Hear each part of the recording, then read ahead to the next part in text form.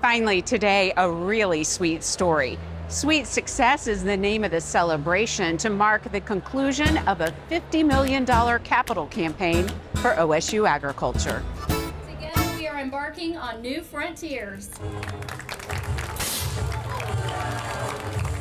Ample confetti, lots of balloons, and of course, President Shrum and Pistol Pete set the stage for the event on the OSU campus this week, completing the $50 million New Frontiers campaign.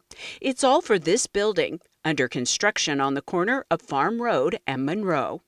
We're going to have uh, research facilities in our laboratories that are state of the art. Uh, and in our teaching laboratories as well. Students will have an opportunity to learn with the latest technology.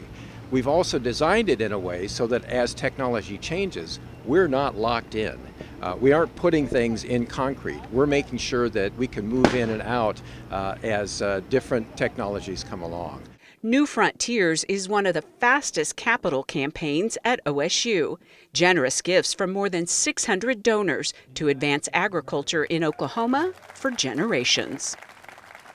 New Frontiers also, you know, I believe means new technologies and agriculture. The College of Ag has been advancing in our technologies. Um, I think that also entices students to come here. That we are a premier place to study agriculture and um, just all the opportunities and advancements that they're going to be able to have with this new building.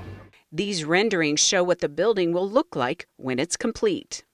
It will help us do a better job of preparing graduates to work, to be in the workforce, serving farmers and ranchers and working as partners with farmers and ranchers. It will help us to advance our research programs so that we are at the leading edge. That's why we call it New Frontiers. We're at the leading edge of discovery that will help to transform uh, our agricultural practices, our ranching practices, uh, uh, you know, for the future. OSU President Dr. Kayse Shrum says agriculture is one of her key priorities, with the ultimate goal of helping to feed the world.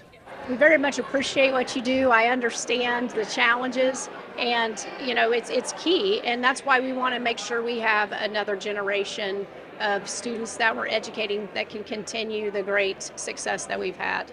New Frontiers Agricultural Hall is set to open in the fall of 2024.